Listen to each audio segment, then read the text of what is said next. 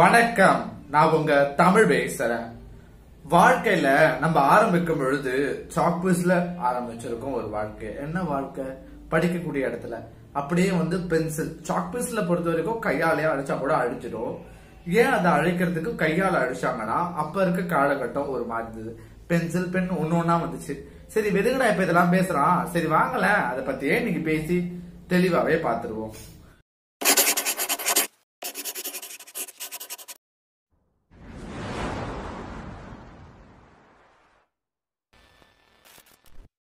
நம்ம பிறந்த தருவாயில இருந்து ஒரு ஸ்டேஜ் போற வரைக்கும் ப்ரீயா இருக்கட்டும் ப்ரீ ஸ்கூலா இருக்கட்டும் நம்மளோட பால்வடி தருணமா இருக்கட்டும் எதுவனா இருக்கட்டும் ஸ்டார்டிங்ல சாக்பீஸ்ல எழுதியிருப்பாங்க.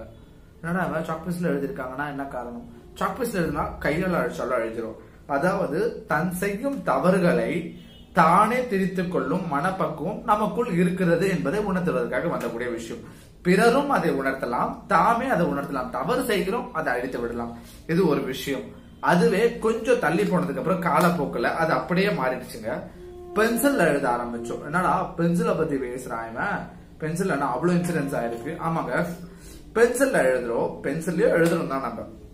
எழுதுறோம். அதை அழைக்கிறதுக்கு கையில நமக்கு ஒரு அழைப்பான். அதாவது ரப்பர்னு சொல்லக்கூடியது ஒன்று இருந்துச்சு. என்னது ரப்பரா ஆமா எல்லாருக்குமே தெரிஞ்சது தானே. நம்ம சுயமா அழைக்காம அழிக்காம ரப்பரை யூஸ் பண்ணி அழைக்கும் பொழுது அதில் இருக்கக்கூடிய எழுத்துக்கள் அலையுது. அப்ப நம்ம என்ன நடத்திக்கணும்னா அந்த வாழ்க்கை கத்துக் கொடுக்கக்கூடிய பாடம் என்பது இவ்வளோ நாள் நம்ம அதை பார்த்தோமா இல்லையான்னு தெரியல. அப்பொழுது நம்மளோட தப்ப திருத்துவதற்கு பிறருடைய உதவி தேவைப்படுகிறது. நாம் செய்ய தவறு நாம் செய்த தவறு அதை அழு அதை அழிப்பதற்கு பிறரோட உதவி நம்மால் தேவைப்படுகின்ற ஒரு விஷயம் வந்து நம்மளுக்குள்ள இருக்குது. அப்படியே ஃபியூச்சர்ல போயிட்டு பேனால எழுதணும். பேனால எழுதணும்னா அழைக்க முடியுதா? ஏங்க முடியல. என்னங்க காரணம்? ஆனா பெண்ல எழுதுனா இந்த மாதிரி சம்திங் போட்டு இல்ல ஒயிட்னர் போட்டு அழைச்சு இடம் தெளியற மாதிரின்றக்கூடிய விஷயங்கள் எல்லாமே இருக்கு. அது சரியா? தவறு. ஆனால் பேனாவில் எழுதும் பொழுது நமக்கு மனதிற்குள் இருக்கக்கூடிய பக்குவங்கள் அனைத்தும் தள்ள தெளிவாக வந்துவிடும் என்பது மிகப்பெரிய ஒரு நோக்கம். சரி இவ்வளோ தூரம் நம்ம பேசியிருக்கோம் இவ்வளோ இன்சிடென்ட்ஸாக நம்ம நடத்தியிருக்கோம் அது எல்லாமே இருக்கட்டும். எவ்வளோ வாழ்க்கையில ஏறினாலும் எவ்வளோ வாழ்க்கையில இறங்கினாலும் நம்மளோட எண்ணங்கள் மாற்றங்கள் பணிவுகள் துயரங்கள் எல்லாமே நம் மனதிற்கு ஏற்றாற்போல் தான் வாழ்ந்து கொண்டிருக்கும்.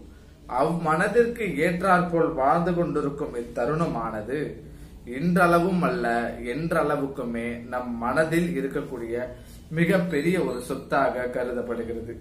ஏனென்றால் நாம் செய்ய சிறுவயதில் செய்த தவறை அழிப்பதற்கு நம்மளால் முடிகிறது பிறருடைய உதவியால் முடிவடைகிறது. பெரும் வயதில் நாம் செய்யக்கூடிய தவறுகளை அழிக்க எவராலும் முடியாது. நம்மால் அழி அழிப்பதற்கு மிக கடினமாக உழைக்க வேண்டியது இருக்கும்.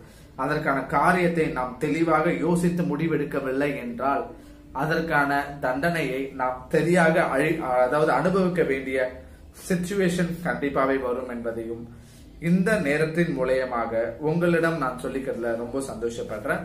உங்களை சுத்தி இருக்கவங்க இந்த மாதிரி இன்சிடென்ட்ஸ் எல்லாமே நடைபெற்று இருந்தா தயவு செஞ்சு அந்த மென்டாலிட்டில வந்து வெளியில கொண்டு வாங்க. அதுவே நமக்கான நன்மையை அளிக்கும் என்பதையும் இந்த நேரத்தில் உங்ககிட்ட சொல்லிக்கிறேன். அண்ட் இவ்வளவு நேரம் இந்த வீடியோ பார்த்துட்டு இருந்தா உங்க எல்லாருக்கும் நம்ம ஸ்பெஷல் தமிழ் சேனல் மூலமா நன்றி தெரிவிச்சுக்கிறோம். Thank you so much for வாட்சிங் திஸ் வீடியோ தேங்க்யூ